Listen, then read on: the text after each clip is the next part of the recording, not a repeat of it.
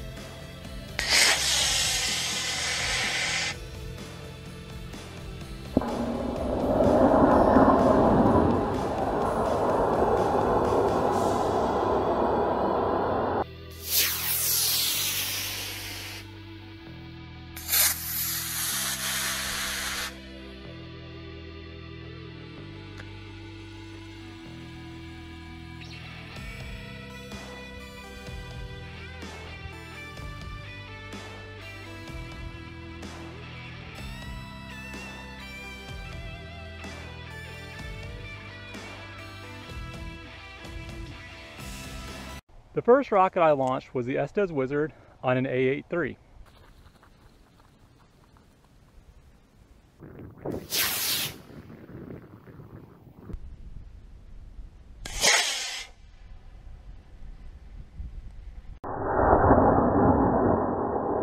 And the rocket flew great, at least I think it did, but the reason I don't know that it did was because when I launched it, I was recording it with my phone and when you try to record the Estes Wizard on your phone when there's cloud cover, sometimes you you don't see the Estes Wizard when it, after it launches. So the rocket went up and then I lost sight of it and as you can see looking at this field, trying to find an Estes Wizard in this field when you didn't see it come down is a little bit of a chore. So the way I tackled finding the rocket comes from a little bit of experience. By that, I mean I didn't actually look for the rocket at first. I decided to go ahead and start launching my other rockets because given that I had no idea where it landed, I didn't even know which direction to look.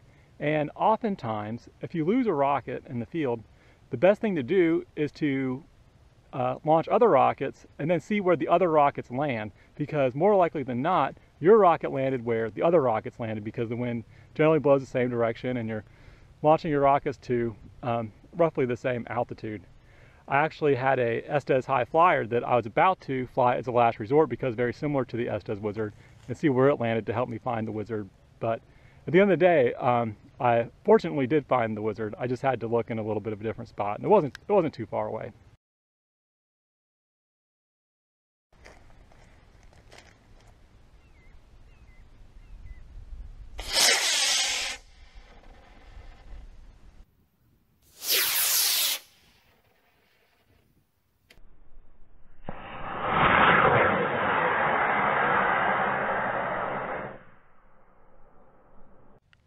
Right, my next flight was the Estes Nike X on a B-62. And this is a very low altitude flight and came down on a streamer, which is the way I normally fly this rocket. And my, my goal with launching it was to just kind of test the winds and see where, you know, where they were going. And all in all, it was a good flight. Didn't do anything uh, too crazy and it's ready to go again.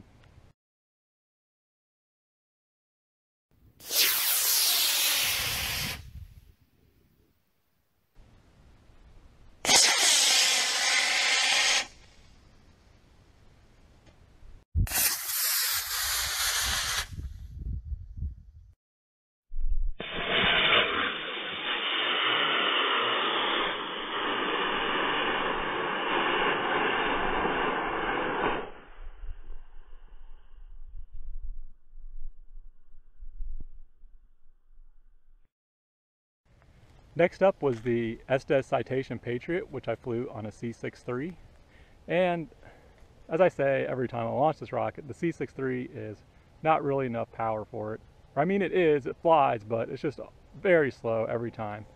Now, I do want to note here that Estes does have another motor out called the C53, which is um, supposed to have a little bit higher thrust out the pad.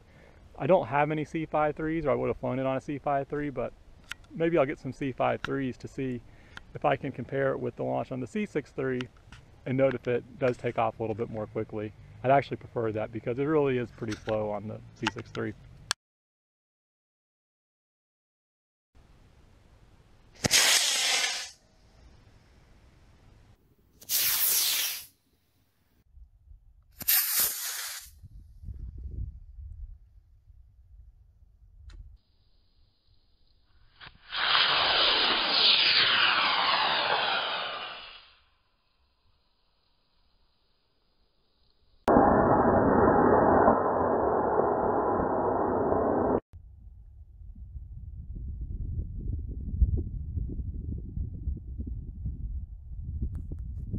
Next up was the Estes Olympus on a D16-4 Q-Jet and it flew perfectly. The Olympus always flies perfectly. You can't go wrong with it. I've flown my Olympus uh, multiple times now. I've done it on D12-3 a couple times. I've also done it on an F12 and today it flew on a D16 Q-Jet which was kind of cool because uh, I was able to do um, a black smoke propellant and still not have the rocket go too high because the uh, the D16-4 Q-Jet is a relatively short burn for um, a motor with black smoke. Just to elaborate a little bit further on that, um, Aerotech has two different black smoke propellants that I know about. They have the Blackjack and the Black Max. And the Blackjack is the slower one, which was the F-12 propellant that I flew the Olympus in last time. And today's flight was on the D16-4, which was a Black Max propellant. And the Black Max is it's quite a bit faster than the blackjack propellant. So that's that's where I was going with the previous discussion.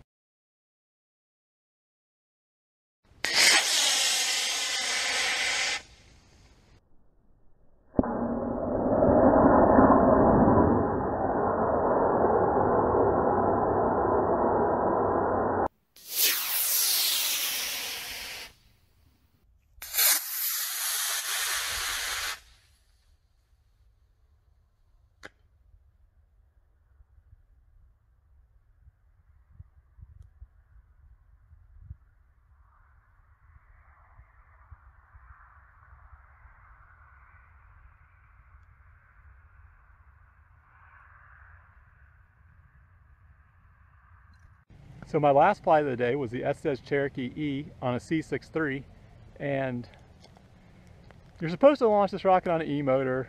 I launched it on a C motor, but did you see how close it landed to the pad?